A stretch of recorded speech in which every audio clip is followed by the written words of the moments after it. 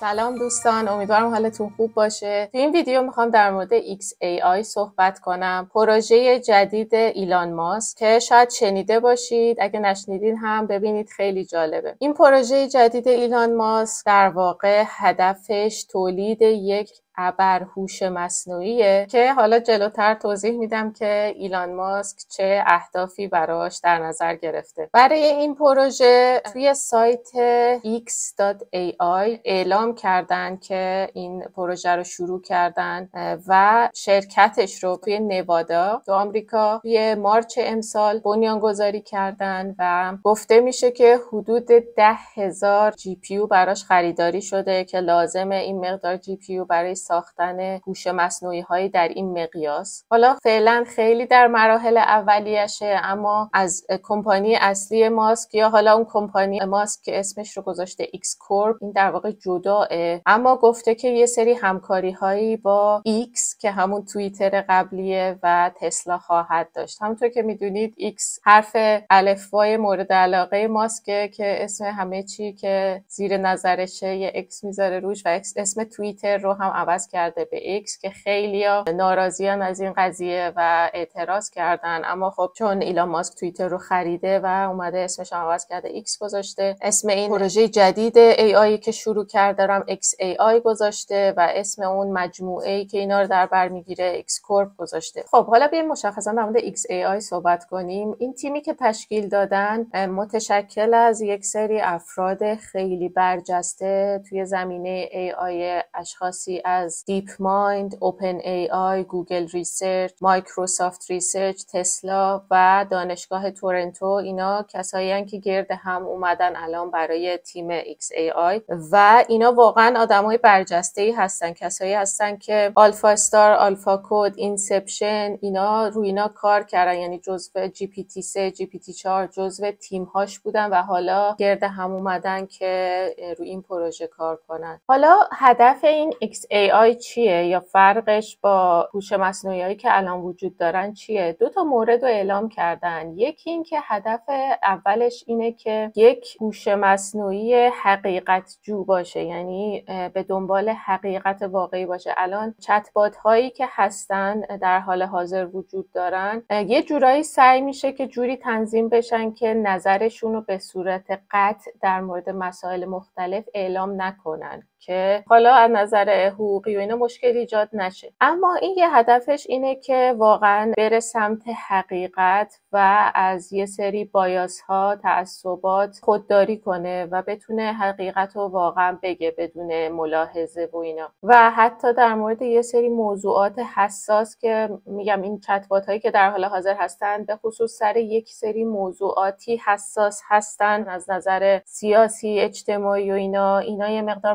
محافظه کارانه تر رفتار می‌کنن و یه جوری برنامه ریزی کردن چت ها رو یه محدودیت گذاشتن که نظر خیلی مشخصی ارائه ندن. اما این XAI هدفش اینه که یه مقدار رادیکال تر برخورد کنه و این ملاحظات کنار بگذاره و واقعا هدفش حقیقت باشه. هدف دومش اینه که خیلی کنجکاو باشه. خب یعنی اینه که یک هوش مصنوعی عمومی یا AGI بسازه که خیلی کنجکاو باشه و دانش رو مرزهای دانش رو جابجا کنه. الان چتبات هایی که الان هستن یه جورایی هدفشون اینه که این اطلاعاتی که در حال حاضر وجود داره انسان داره این چتبات بتونه در همون سطح عمل کنه بتونه از اون اطلاعات استفاده کنه و اون اطلاعات رو در صورت نیاز خروجی بده. اما هدف ایلان ماسک اینه که یه قدم فراتر بره و این چتبات دیگه نیست. این هوش مصنوعی یا AGI که می‌سازه بیاد یه سری موضوعات عمیقتر و ناشناخته تر و پیچیده تر رو بررسی کنه و در مورد اونها یه کشف های جدیدی به دست بیاره. مثل موضوعاتی مثل اینکه جهان هستی چیه ما از کجا اومدیم در مورد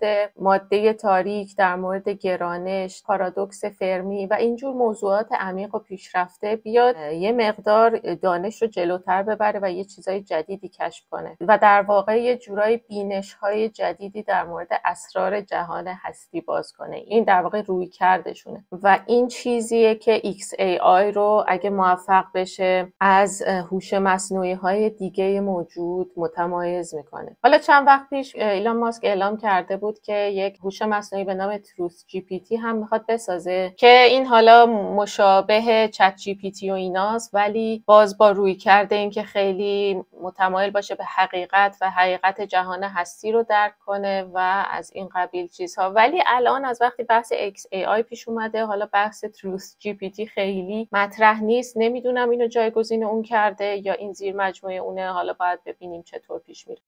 حالا یه موضوعی که می‌خوام اینجا اون رو هم مطرح کنم. بحث امنیت این هوش مصنوعی هایی که هی داره پیشرفت پیدا می‌کنه. ایلان ماسک خودش یکی از افرادی بود که یا هست که خیلی به این امنیت حفظ امنیت این چتبات ها یا مدل های هوش مصنوعی اعتقاد داره و در موردش صحبت می‌کنه. الان یکی از مشاوران امنیت همین XAI شخصی به نام دن هندریکس که رئیس یک مؤسسه به نام Center for AI Safety یا مرکز ایمنی هوش مصنوعی. و خب این مؤسسه با رهبری دن هندریکس خیلی تلاش می‌کنه که جهان رو آگاه کنه از خطرهای هوش مصنوعی و این که دولت ها تلاش کنن که یک سری دستورالعملهایی در کار قرار بدن که از کنترل خارج نشه در واقع هوش مصنوعی. و چند وقت پیش هم یک بیانیه‌ای رو دادن این مرکز با عنوان اینکه خطر انقراض انسان ها توسط هوش مصنوعی خیلی باید جدی گرفته شه از نظر دولت ها و اینو خیلی از دانشمندهای هوش مصنوعی و اینا امضا کردن. البته ایلان ماسک اینو امضا نکرد ولی مثلا مدیر عامل DeepMind سم آلتمن مدیر عامل OpenAI مدیر عامل Anthropic اینا امضا کرده بودن.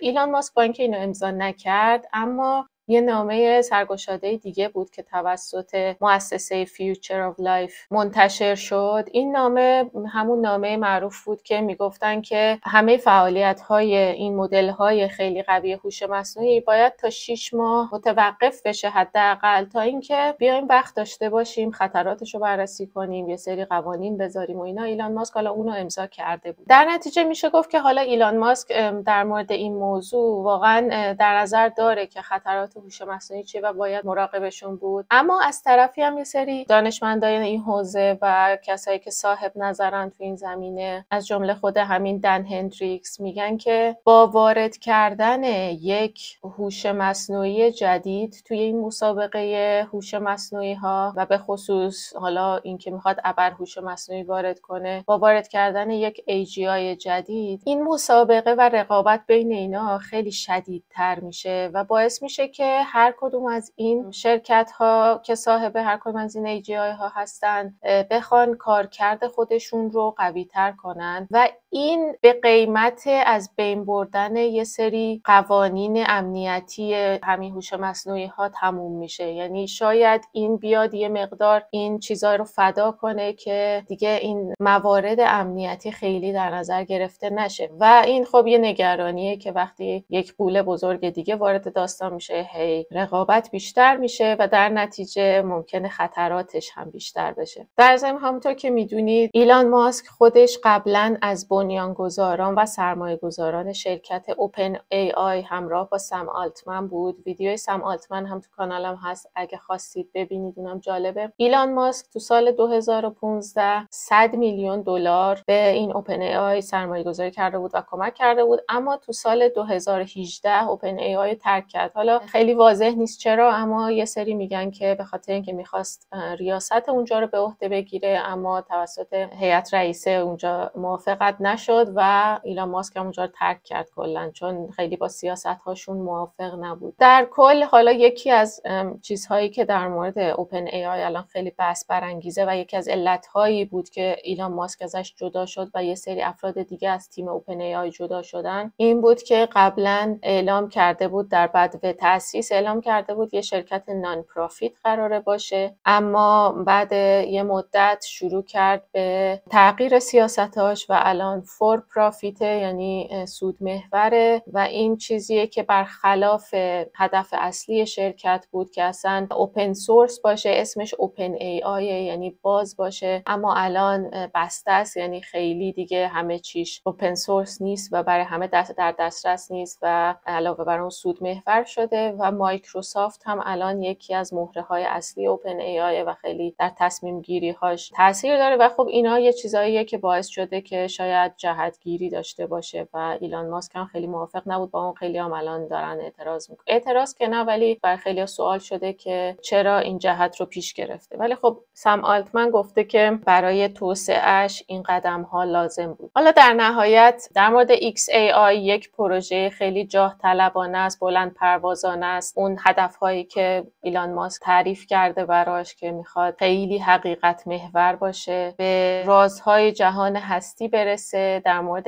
انسانیت و جهان هستی حالا بیشتر بدونه. و خود این دونستن بیشتر در جهان هستی حالا حرف ایلان ماسک اینه که خود دونستن بیشتر در مورد جهان هستی باعث میشه که اون هوش مصنوعی نیاد دیگه بر علیه انسان عمل کنه و یه جوری این خودش ایمنیشو تضمین می‌کنه. اما حالا یه عده‌م خب خیلی منتقدشن. مثلا شخصی به نام جس بیتلستون که رئیس سیاست های هوش مصنوعی توی یک مؤسسه توی بریتانیاست به تایمز گفته که این واقعا یه رویکرد ساده لوحانه است و اینجوری نیست که بشه گفتش که با حد اکثر کنجکاو بودن هوش مصنوعی ایمنیش هم تضمین میشه. و واقعا همین الانش هم خیلی نمی‌دونن اندیشمندهای بزرگ هوش مصنوعی نمی‌تونن پیش بینی کنن هوش مصنوعی رو و این یک رویکرد خیلی ساده لوحانه است که ماسک داره ولی در هر حال خب کاری که شروع کرده و مثل کار دیگهش قطعا پیش خواهد برد و باید ببینیم در این مسابقه و رقابت هوش‌های مصنوعی چطور خواهد شد. خب این هم در مورد XAI پروژه جدید ایلان ماسک بود. امیدوارم براتون جالب بوده باشه و منتظر ویدیوهای بعدی باشید. فعلا خدا نگهدار.